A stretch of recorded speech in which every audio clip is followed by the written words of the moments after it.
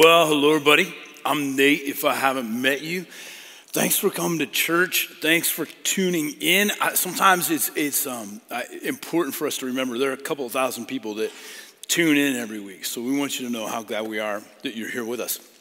So, a new year. Can I talk to you a little bit about the year 2022? What we're going to do? Okay. So, I got to tell you this. I've thought about this for probably a decade. And I've always been a little too nervous to actually pull it off, okay? And I've never, I looked everywhere. I've never found a church that has tried this before. So I have to tell you at the beginning this is either going to be an incredible experiment or an absolute catastrophe. Those are the only two options, okay? Only two options. So here's what lies behind what we're thinking about for this coming year. So I, will start off this way. I think that we have a problem with the Bible. And I don't say that to like point a finger, make anybody feel guilty. Do you know the Bible sells 20 million copies a year? And somebody recently said the Bible is the most often purchased and least read book of all time, right? So I think we have an like an emerging issue in our culture.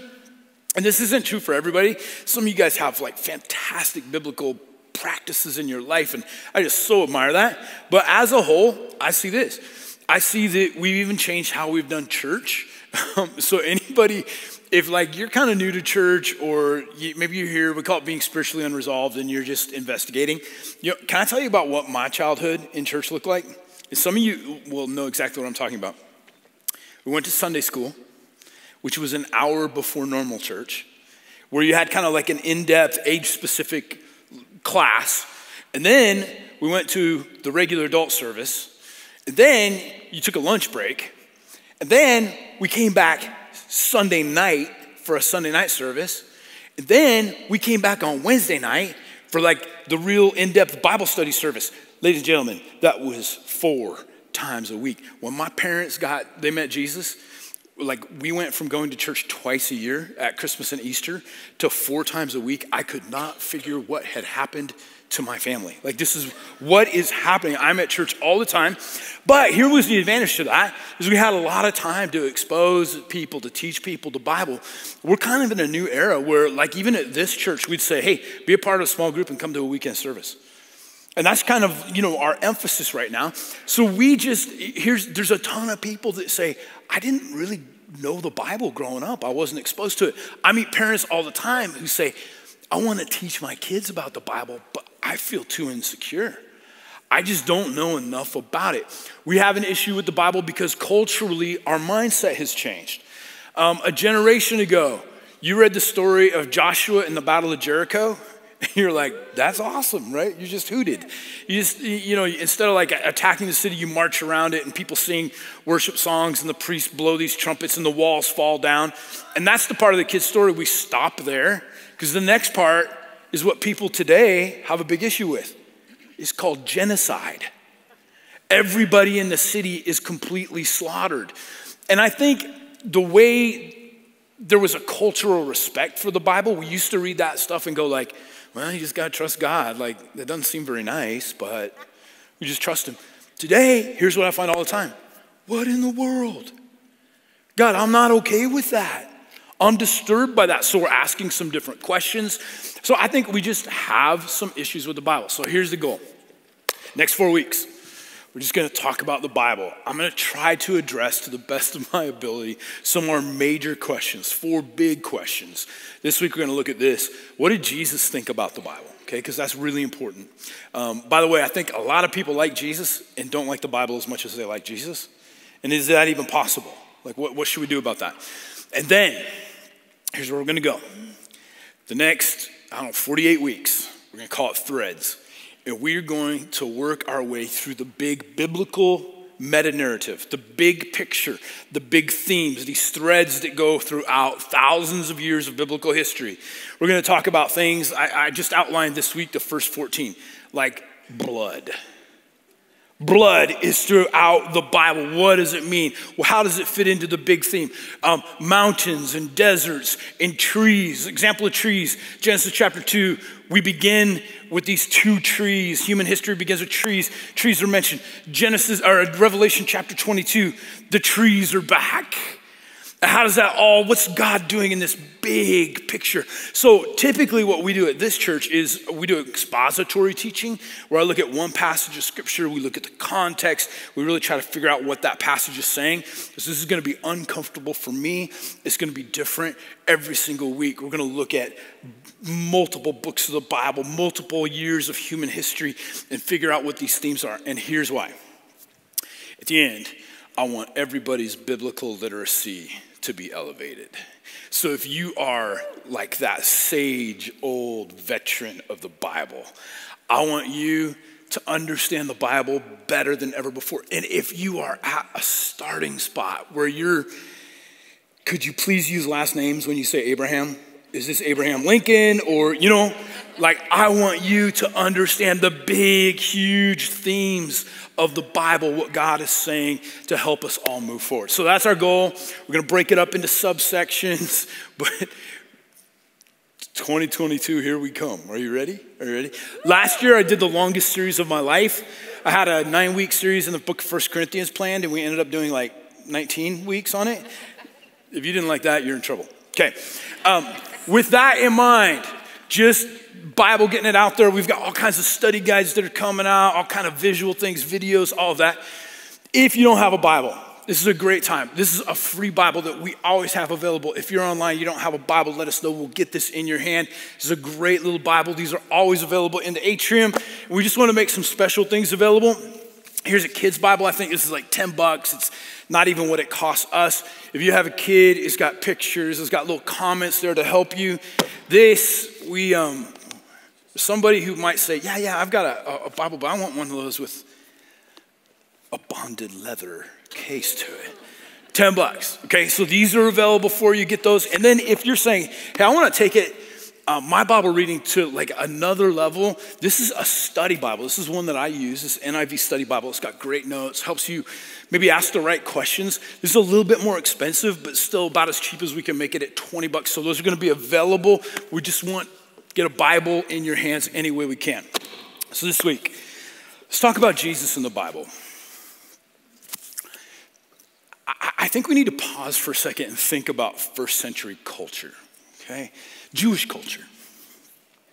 So, in first century Jewish culture, the entire education system was built around the Old Testament.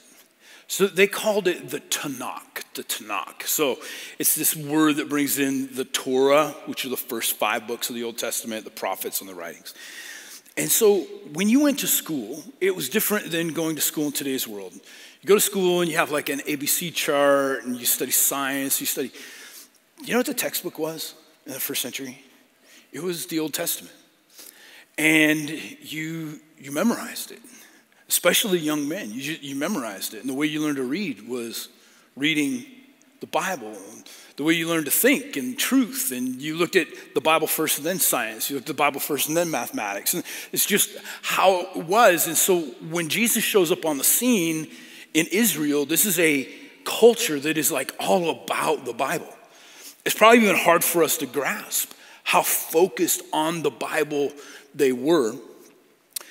And yet, we're going to read from three different portions of Scripture today where Jesus says to this incredibly biblically literate culture, You're missing it. You're, you're completely missing it. And so, in this first passage of Scripture, it's going to be from Matthew chapter 5. We'll start at verse 17. We're going to see that Jesus has an incredibly high view of Scripture.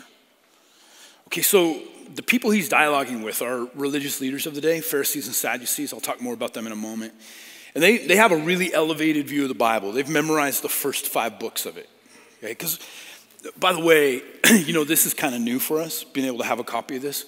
took a guy named uh, Gutenberg to uh, figure out how to print this. Bibles were kept in your local synagogue, they were on scrolls. You had to import papyrus, which was a type of uh, writing material from Egypt and the smallest, uh, you know what a compact Old Testament was in the Old Testament in, the, in Jesus' day? It was 24 scrolls, massive scrolls. Scroll of Isaiah, the longest book in the Bible, was stretched from about here to the very corner of the room. It would be about this big, this wide, and you just read through it. So nobody had a Bible at home, but they studied it and went to synagogue, heard it read, and they heard rabbis teach about it.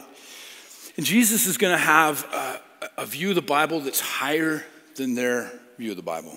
So Jesus has this really high view of the Bible. Let's read from Matthew chapter 5, excuse me, where Jesus is talking to a group of people about the Bible. Do not think that I have come to abolish the law or the prophets.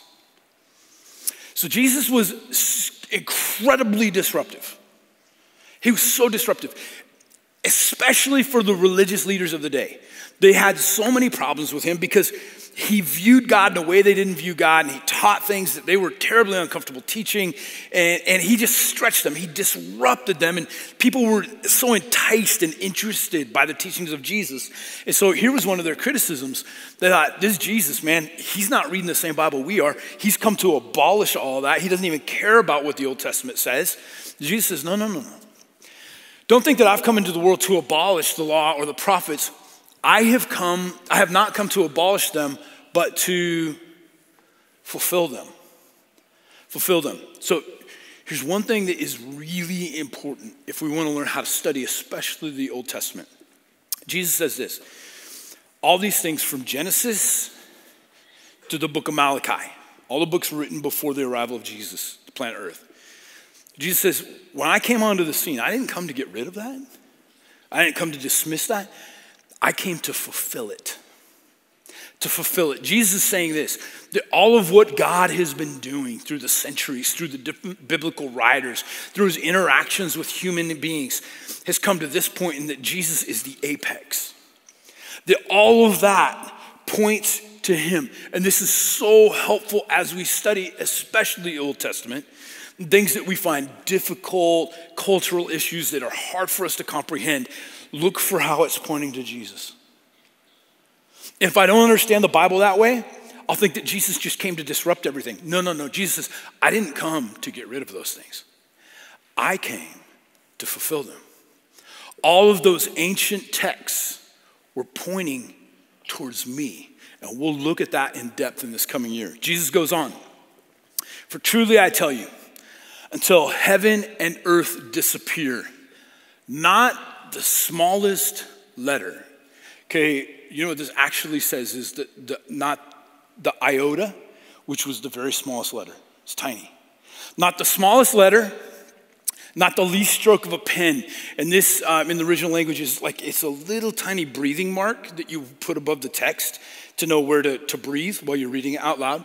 Not the least stroke of a pen will by any means disappear from the law until everything is accomplished.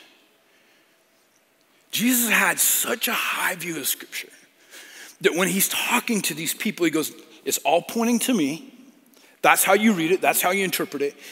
And there is, there's not like something that's dispensable. There's not anything in the Bible that is like unimportant, like the, the tiniest letter, the tiniest little breathing mark. All of those are there on purpose, and God has written them, and they will come to a place of fulfillment. Jesus believed that the Bible had staying power, that it had authority, that it couldn't be dismissed. He goes on to say, Therefore, anyone who sets aside one of the least of these commands. So in the Old Testament, there are 613 commandments. That's a lot. We kind of think of the 10 commandments, that's a little bit more manageable number. There's 613. If you read through the book of Leviticus, you'll be like, yep, there's 613 of them. So anyone who sets aside one of the least of these commands and teaches others accordingly will be called the least in the kingdom of heaven. But whoever practices and teaches these commands will be called great in the kingdom of heaven. So, you want me to give you one of the 613 commands that's really easy for me to dismiss? There's a command that says, You shall not eat bats. Okay, not, not bats from baseball, but like flying, hairy mammals that are absolutely disgusting. Here's my tendency I read that command and I'm like, yes, sir, you got it. I, that is a command that I have never broken once in my life. Any of you? Just I want you to feel good about yourself. If you've never eaten a bat, you are righteous, okay? Well, here's what Jesus is saying. The challenge is, is when we read the Bibles, we can find things that, boy, out of those 613 commandments, like, ah, that one seems antiquated, right? That one seems uh, a little bit awkward. We'll talk about how do you differentiate between the different types of the law. I've got that coming up in a couple weeks. But Jesus says, if you have a dismissive attitude towards the ancient scriptures, or if you teach people to be dismissive, which is easy to do when we read things that we don't understand that seem so awkward and so different.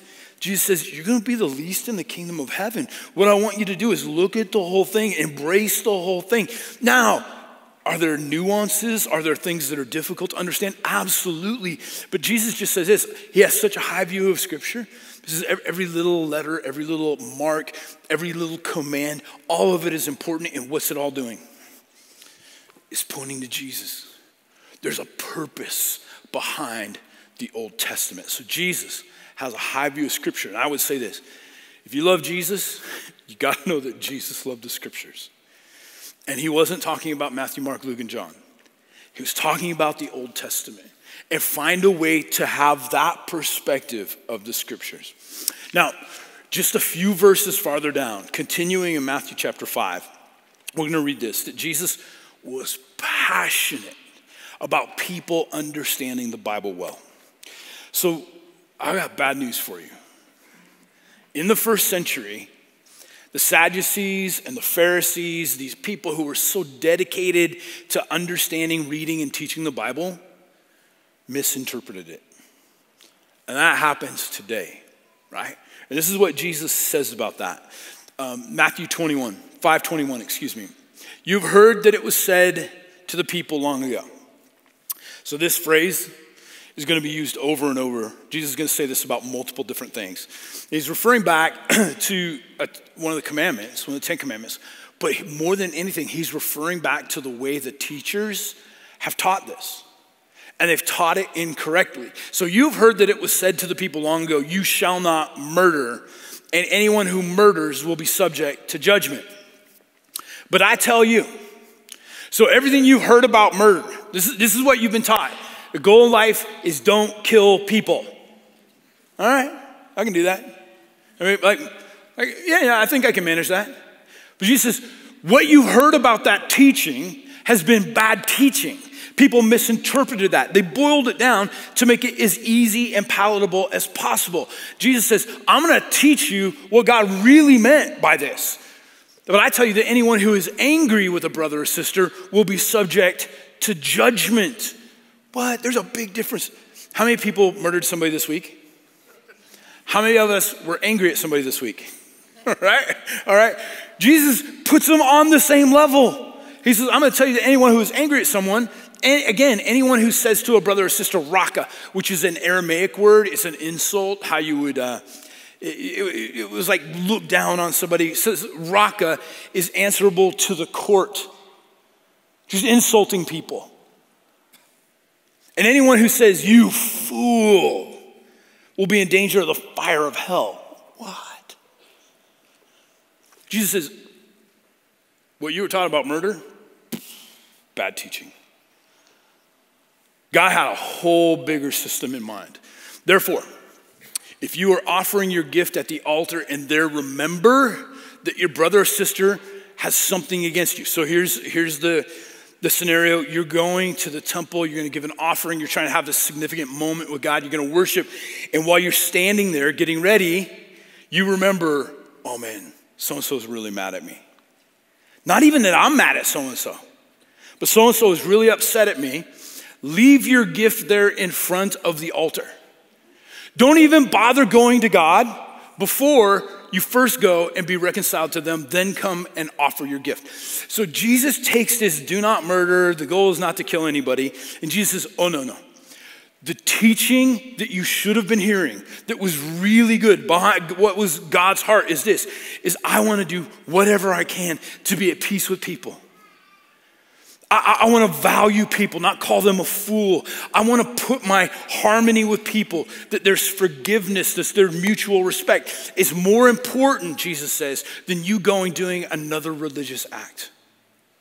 So here's, here's what Jesus is saying He's saying, You've been taught wrong. The Pharisees, the Sadducees, they've kind of minimized the teaching and they missed the whole heart of it. So, one of our goals in the days ahead is to understand as well as we can. And here's the great news you do not need advanced degrees to understand the Bible. One of my, um, I'm just going to be frank right now.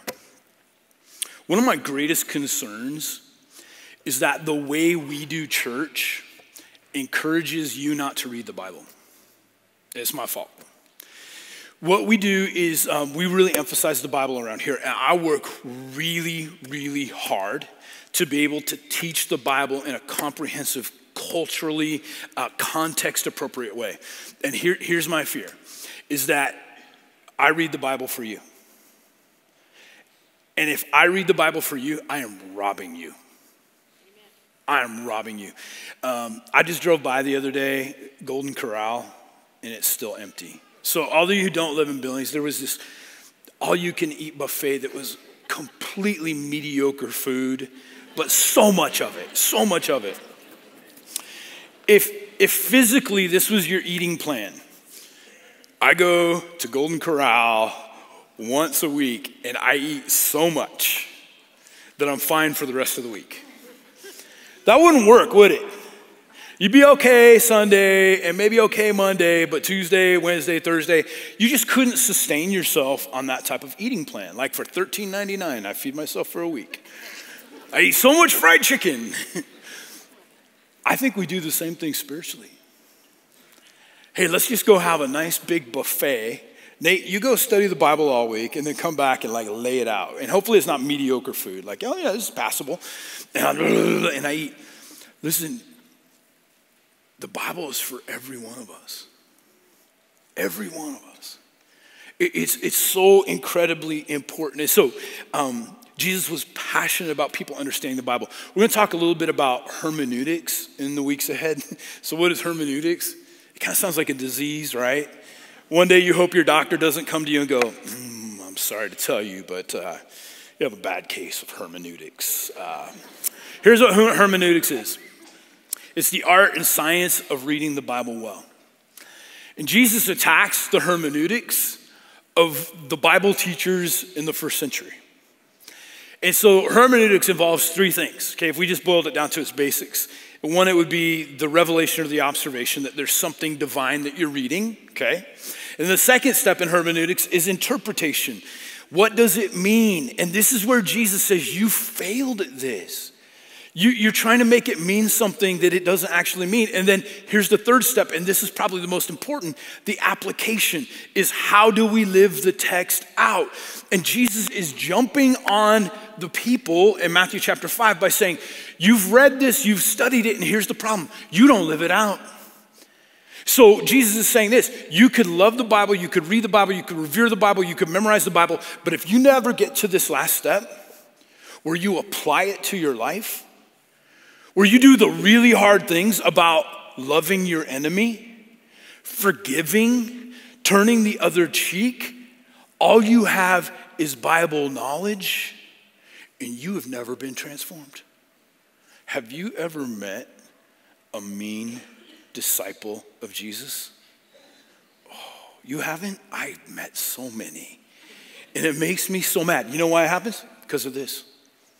We do the first two, and we never apply it. Jesus says, I want you to apply it to your life. Now, here's the third and final thing um, Jesus is going to speak to the Sadducees, this is Mark chapter 12, about uh, their misinterpretation of the scriptures.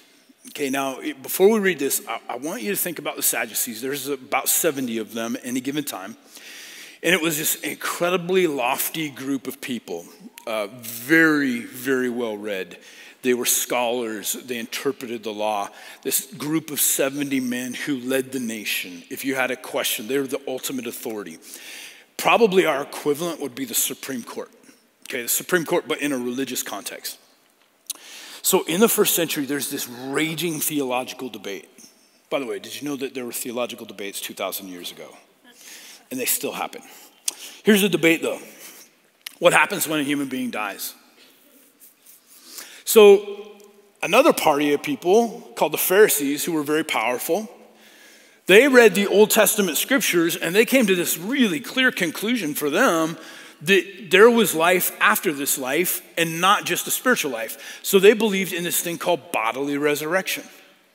That one day, when the Messiah came back, that dead people who had been buried, not would they only be spiritually alive, but they would be physically resurrected as well. Well, the Sadducees, who are the most elite, the Sadducees read the same Old Testament and they go, not a chance. Like, what's going to happen? You've been in the grave for 10 centuries. Like, we know what happens it's decomposition. You're not going to be resurrected. That's an impossibility. So they, they had this whole belief that the life after this life was only spiritual, it was metaphysical, it wasn't physical at all. And so here's what the Sadducees think they think that Jesus, they, have a feeling that he sides with the Pharisees on this, that Jesus believes in some sort of bodily resurrection. So they want to test him. So they bring up a scenario. Here's the scenario Mark chapter 12. Then the Sadducees, who say there is no resurrection, came to him, Jesus, with a question. Teacher, they said, Moses wrote for us that if a man's brother dies and leaves a wife but no children, the man must marry the widow and raise up offspring for his brother. Pause here for just a moment. Now, in our culture, this seems really weird. Anybody you thought, like, marry my brother in law. Ah, right? So, in ancient culture, women were unbelievably vulnerable. If you were a widow, because women could not own property, because women oftentimes couldn't even have bank accounts, if your husband died and you didn't have children, your future was very bleak. Very bleak. There's no social systems involved. You know what retirement was in the ancient world? is you had children and you had as many children as possible so they could take care of you when you couldn't work any longer, right? And so the Sadducees make up this scenario. They say there's a woman and she becomes a widow. They didn't have any kids. Now she's vulnerable. So this is what God said in the Old Testament. He said, now the brothers of her husband are responsible for her. One of them should take her and marry her, make him his wife, so that make her his wife so that she can have a secure future. Now, there were seven brothers. Oop, can we go back? We didn't read it all. Now, there were seven brothers. The first one married and died without leaving any children. The second one married the widow, but he also died, leaving no child. It was the same with the third. In fact, none of the seven left any children. Last of all, the woman died too. Now, this is where they're trying to trick Jesus. At the resurrection, this so called resurrection, whose wife will she be? since the seven were married to her. So, this is what the Sadducees are thinking. So, you believe in a resurrection, huh? Well, one day, how about this woman and her seven husbands all show up in heaven and she's like, I don't know, they're all my husband. Like, who do I spend eternity with? So they think this, this disproves the resurrection. Jesus replied, are you not in error because you do not know the scriptures? Two reasons why we misunderstand the Bible right here. These are powerful. Number one, you do not know the scriptures. Now remember, he is saying this to the Sadducees, the most highly educated, most well respected Bible teachers in the first century. And he says, You do not know the scriptures. Here's the second reason why we misunderstand the Bible or the power of God. So you don't get this. Two reasons. You misunderstand the scriptures. You don't know them. You've read them, You're familiar, but you don't actually know what God is doing. You don't know who He is. And you don't have a big enough God. Let's go on. When the dead rise, they will neither marry nor be given in marriage. They will be like the angels in heaven. Now, about the dead rising, have you not read in the book of Moses, in the account of the burning bush, how God said to him, here's the point of this God uses first person present tense I am the God of Abraham. It's not, I was the God of Abraham. Like Abraham's gonna be around. I am the God of Abraham. I am the God of Isaac. I am the God of Jacob. He's not the God of the dead, but of the living. You are badly mistaken. Okay, how do we understand the Bible well? Here's two things that we got to avoid. One is reading the scriptures but not knowing the author. Okay, in John chapter 5, Jesus says this to another group of Pharisees. He says, You study the scriptures diligently because you think that by them, by the scriptures, you have life. But here I am, Jesus says, the very one about whom these scriptures speak, and you don't recognize me. Okay, so I could be a Sadducee, I could be a Pharisee, I could be the best Bible student in the world, but not see Jesus. The point of reading the Bible is encountering the risen Jesus. Okay? Then here's the second thing. If you don't have, if I don't have a big enough perspective on who God is and on his power, I won't be able to read the Bible right. So for the Sadducees, like there's no way decomposed matter can come back together and God can restore it. And Jesus saying, Are you kidding me? What happened in Genesis chapter 2? I'll tell you what happened. The first human being was created out of the dust of the earth. And you think that the God who created humans out of dust won't be able to recreate a human being out of dust? And this is so helpful when we read things in the Old Testament that are challenging, that seem to defy science. There's, a, there's an account of a battle that's raging and the sun stands still so that the battle can be won. Anybody, like, I don't know, sun standing still seems like we could have some cosmic issues with that. Like, aren't we going to burn on one side? You know, what, what's going to happen? This is what Jesus says it's because you don't have a big enough view of God. You think God couldn't suspend laws of science and physics to accomplish his purpose? So when I come to different parts of the text that are really difficult, I realize one of the key things for me is to understand how big my God is. That he could do things that I can't comprehend. So I don't want to just dismiss the text because, ah, that's scientifically impossible. Not impossible with God. Not impossible with God. I want to conclude with just a couple of statements. Number one, if we're going to wrap all this up, life is found is not found, okay, is not found in the Bible. Now I know this runs contrary to what a lot of people, like a lot of Christian phrases you hear, um, yeah, you got to get into the Word. I find life in the Word. Jesus is really clear. He's talking to Bible people in every one of these conversations. He says, Life is not found in the Bible. Life is found in Jesus, and Jesus is found in the Bible. So when I read the Bible, what am I looking for? I'm looking for Jesus. I'm looking for Jesus. So in this year, as you move forward, look for Jesus in the Bible. The goal is not to read more and more Bible, the goal is to know the author better than ever before. Second one, the point is not to study, the point is relationship. I can be familiar with the Bible and unfamiliar with Jesus, and this to me is terrifying. Someone who does what I do, I could be familiar with the Bible and unfamiliar with Jesus. It's exactly what happened to the Pharisees. The point is not to know the Bible, the point is to know the author of the Bible. And lastly, Read the Bible for formation, not information. So, my goal is not to win at Bible trivia the next time I take it.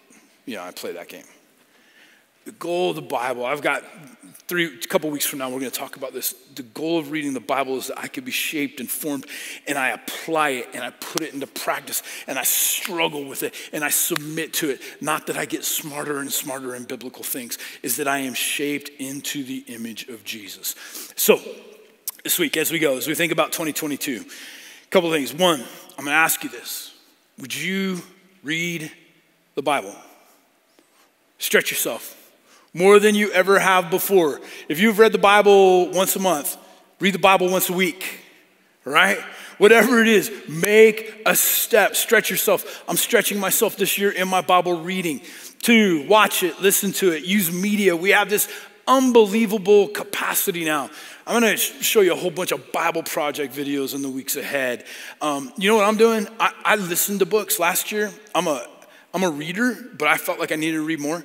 Last year, I made my way through 87 books by listening to them. Drives my wife crazy. She's talking to me, and I have earphones in because I'm reading another book or listening. I'm listening to the Bible. Yesterday, I was working in my garage. I got through 40 chapters. I was asking questions. Pause it, listen, think about that. So read it, watch it, think about it.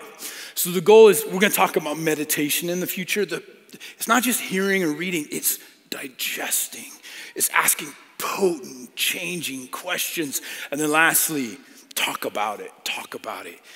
We're going to start all kinds of new small groups for people to sit down and talk about their struggles, what they're reading, what they've seen, revelations they've experienced from the Bible.